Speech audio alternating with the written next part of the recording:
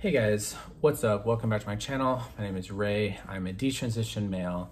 And today I'm going to be talking about, you know, whether or not I detransition because society is, you know, in some respects intolerant or prejudiced against trans people.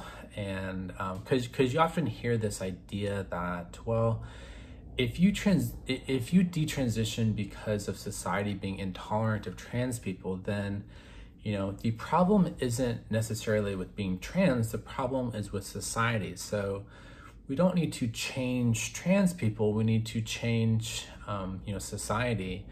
And then there would be far less detransitioners. And, you know, I, I want to preface this conversation by saying I'm not speaking about other detransitioners. I'm not speaking about, you know, other trans people. I'm only speaking about my own experiences. So I'm not extrapolating from my experiences and, you know, generalizing to other trans people or de- or detrans people. I'm only speaking about my own life. Um, and I think it's a little more complicated than simply saying society is intolerant of trans identity because in my experience, it wasn't necessarily that society was intolerant of transness per se, it was more so intolerant of the very concept of males being feminine, um, particularly if you were not feminine from a kind of like um, young age, because you know there are some males who are basically uh, intrinsically feminine in their mannerisms from a very young age. Whereas for me, like, you know, I, I was not a uh, overly effeminate child, even though I had a predilection for cross-dressing from a young age. But that cross-dressing was more like a secretive behavior of just, you know, donning these, you know, feminine clothing and not necessarily, you know, acting like a overly effeminate child. Um, but when I started my transition, I started, you know, consciously imitating femininity um, in order to pass.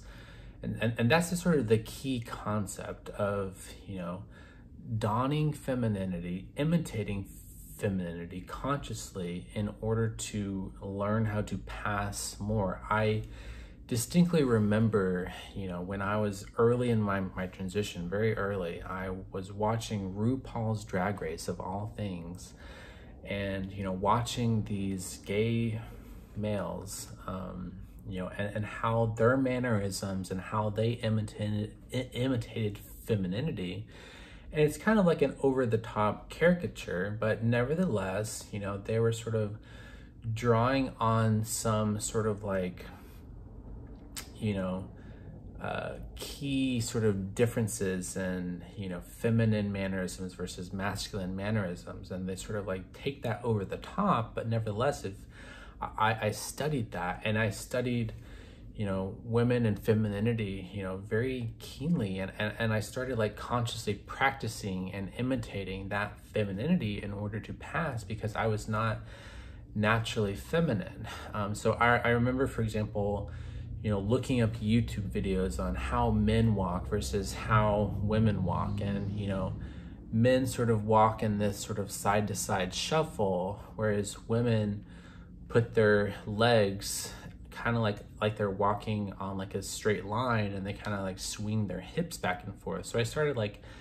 literally practicing practicing this and consciously changing how I held myself and you know through you know effort and practice i feminized my mannerisms and my behavior through a conscious deliberate process of imitation of femininity.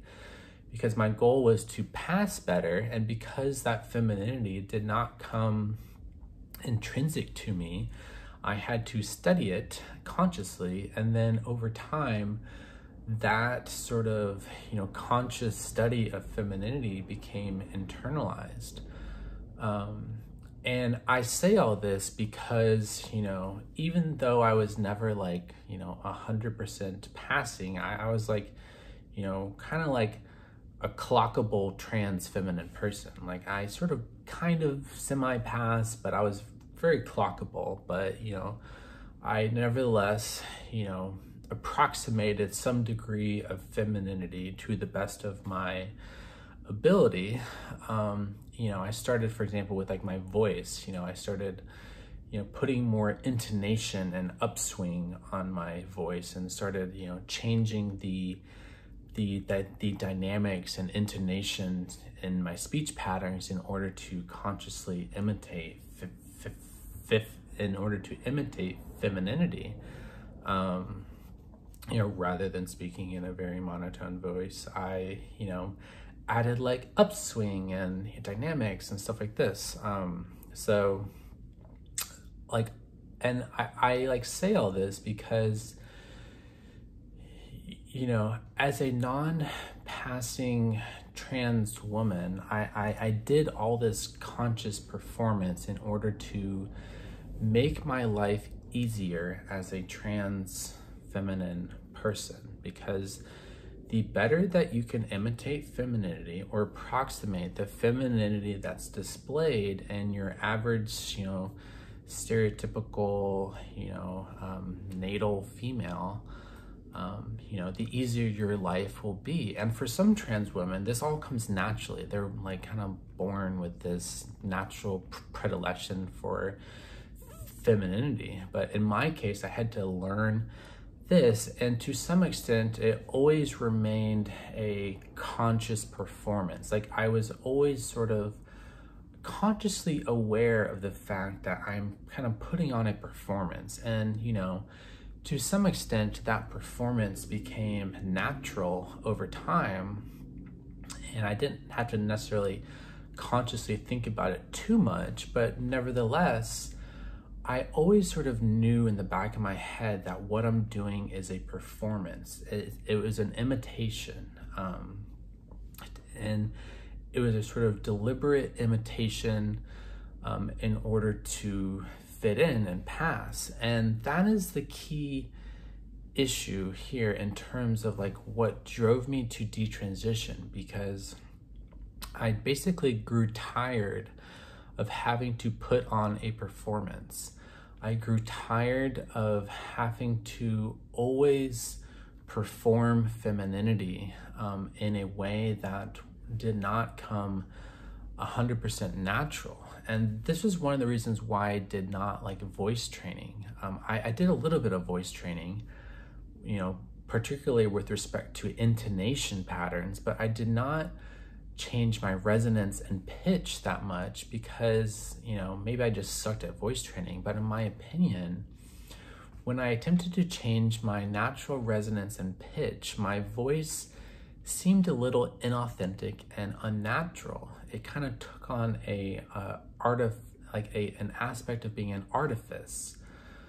Um, and I did not like that. I, I did not like how fake it felt to put on this, um, you know, feminized voice. I preferred my voice to be natural because I preferred the natural authenticity in retaining my natural resonance patterns because it felt better to do so. It felt more natural. And, and I liked being natural and authentic versus unnatural and inauthentic, even though that possibly led me to, you know, be, um, you know, t- to not pass as well. And, you know, so I would always get like, you know, um, clocked because of my voice.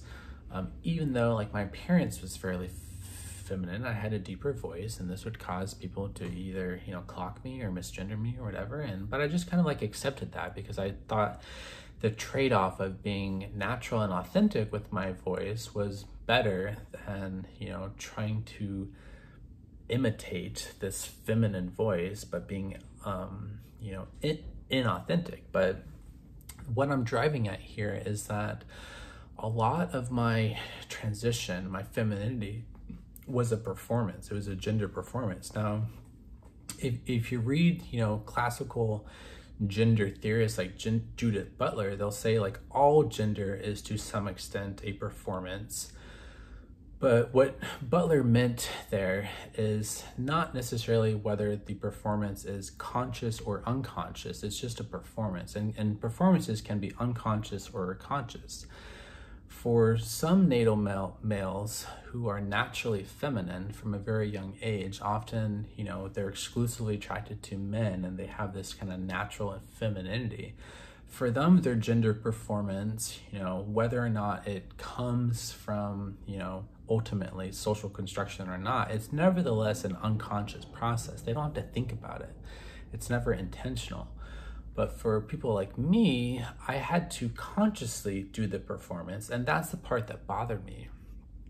And you know, how does all this tie into the idea of, you know, detransitioning because society is intolerant? Well, what I'm getting at here is that um, insofar as society was intolerant of me putting on women's clothing and long hair and makeup and kind of trying to look like a woman um, without doing the performance aspect, you know, society is intolerant of femininity in males, period. Whether or not you identify as trans or non-binary or whatever or just a cross-dresser like it doesn't really matter what you identify as society is intolerant of femininity in males like anyone who has like it like any male who has attempted to be feminine or you know expresses femininity like they will tell you you know that society is intolerant it's highly policed among women. It's policed among men. You know, you get made of as, as a sissy, as a you know, um, you know, all kinds of slurs. You know, get thrown at you. You're sort of like seen as like a you know a failed male, like a failed man. Like um, you know, you're sort of like a beta soy boy or whatever or you know there's so many you know adjectives that one can use to describe feminine men and almost none of them have positive connotations in our society. Um, the only, well, you know, and there's kind of an, an, exception now because, you know, things like drag race are super popular, you know, but nevertheless, you know, feminine gay men will tell you that they have a hard time dating in, in the gay world because, you know, there's such a strong preference for masculinity because masculinity as a man necessarily involves assimilation, better assimilation into society. Whereas if you're a feminine man, um, you know, it's harder to assimilate because you stick out. You sort of, you know, it's socially deviant behavior. Um, and you kind of like draw all this attention to yourself, and a lot of it's negative attention, even if you're just sort of, you know, have a natural preference for these things. But in my case, you know, um, I grew tired of putting on this performance, this gender performance, and it, I, I, I ultimately grew tired of the in the inauthenticity of trying to pass all the time, and the sort of like social anxiety and self consciousness that came from trying to do this performance all the time um, and the you know anxieties about oh well how well am I performing? And you know and sort of always being on my guard because you know when I first met someone or if I'm in a new social situation I would sort of you know the the performance would kick into gear you know particularly with my voice and my mannerisms I would kind of restrict my natural range to put on this performance of femininity but then as I got comfortable with someone, you know, I kind of relax the performance a little bit and kind of be more natural and more authentic and my voice pitch and resonance would like drop into a more natural resonance. But it's tiring to have to put on that performance all the time. Like I was always very conscious of, for example, like the angle at which I held my face or, you know, because of my Adam's apple. So if I'm like drinking like a beverage. Like I, I would always like not want to go like this to drink um, because of my Adam's apple. So I'd kind of like drink like this. You know, just little, like little weird things like that. But my gender performance had so much like self-consciousness around it that I just got tired of that. Now, how this ties into social intolerance is one might say, like, oh, well, if society was more accepting of trans people, then you wouldn't feel the need to put on this performance. But I don't think it's quite right to say that it's the intolerance of trans uh, of transness. Like it wasn't necessarily society being transphobic. It was society being intolerant of femininity in males. Like that is the key aspect because, you know, if I had because my real desire was just to cross dress. I just loved women's clothing and I wanted to wear them all the time.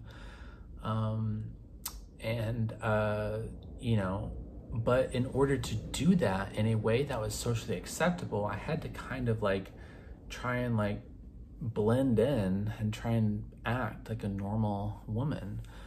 Um, you know, to to the extent that's like possible for me, which you know I never really did a great job of that. Um, but you know, for me then the like issue is not necessarily society being transphobic. It's society being intolerant of femininity in males.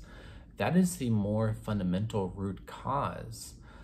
Um, and you know ultimately i just got tired of you know putting on this trans identity and trying to maintain the artifice of my feminine persona at all times and you know do this gender performance thing. So you know one might say that yeah i detransitioned because society was intolerant of trans people but the honest truth is that it was because society you know necessitated the need to put on this gendered performance because otherwise you know cross-dressing in males is not well tolerated. So it doesn't really matter that i had a trans identity. Like in in if anything, my trans identity, you know, brought a lot of positive reinforcement because a lot of, you know, people left of center are very supportive of trans people. You know, they, you're sort of like, you know, you, you, you get a lot of social support because, you know, trans people, um, you know, there's a lot of awareness about trans people and like, you know, everyone wants to be like a good ally to trans people. At least, you know, liberals want to be good allies to trans people. So I, I got a lot of social support for being trans, um, you know, um, you know, but that didn't really matter because society, you know, just doesn't really like feminine males very much. Um, so, so and, and, and the fact that society does not like feminine males, you know, it necessitated me to try and hide the fact that I am male. And I tried to hide the fact that I'm male through this gendered performance in order to pass, to try and pass off myself as, you know, a natal female through the deliberate adoption of femininity and trying to you know, minimize and hide the fact that I'm male. Whereas, you know, if society was more tolerant of femininity in males, you know, I might have never found the need to adopt a feminine persona with, you know, a feminine name and she, her pronouns and, you know, this sort of like artificial feminine persona that I constructed. I would have just worn the clothes I wanted to wear, you know, wore the makeup I wanted to wear without necessarily feeling like I need to fit myself into a box and, and be inauthentic in my natural expression. And I could have just remained more authentic and natural in my presentation. Um, but the fact that society is not there, um, you know, I, I ultimately detransitioned because I just got tired of being inauthentic all the time. Like, I wanted to be authentic. I, I was tired of putting on this performance. I was tired of worrying about passing and passing politics and all the anxiety that comes with that. And I just wanted to be natural in my behavior and my mannerisms. And it turns out that it's easier to be natural for me, you know, as a male presenting person because because yeah that is my natural inclination is like I, I I am a more naturally masculine person in my mannerisms and how I carry myself than I am a feminine person because that's just, you know, how I am. And I just got tired of putting on the, the, the performance. Um, so I wanted to say all this because, you know, I, I wanted to um, complicate the narrative in terms of what it means to detransition because society is intolerant. Because I think we need to be like more careful and more precise about what exactly is society intolerant of. Is it intolerant of trans identity in and of itself? Or more fundamentally, is it intolerant of femininity in males? Um, and, you know, I do not deny that, you know, to some extent, society is intolerant of trans identity in and of itself, you know, as trans identity. But, you know, for me in my own personal life, the more fundamental issue was the intolerance of femininity in males that drove me to adopt the trans identity, um, which allowed me, which created a shell um, that I, or a placeholder that I used to interject my gender performance in order to pass and minimize the fact that I'm male. Because I didn't want to be seen as a feminine male, I wanted to pass as a trans feminine person. Um, and even though I never adopted like the identity of a woman, I never like thought I was a woman, but I always was very conscious of the fact that I'm trans and I you know, proudly embrace the fact that I'm trans feminine, you know, it was still like, you know, it, it was still hard for me to accept the fact that I'm male because I'd sort of internalized this message, you know, for, for, for so long that, you know, being a feminine male is a bad thing. Um, so yeah, that's kind of all I wanted to say there. Hopefully this made sense. Um, and, and again, I'm just speaking about my own personal experiences here. Um, so um, yeah, there you go. All right, thanks. Bye.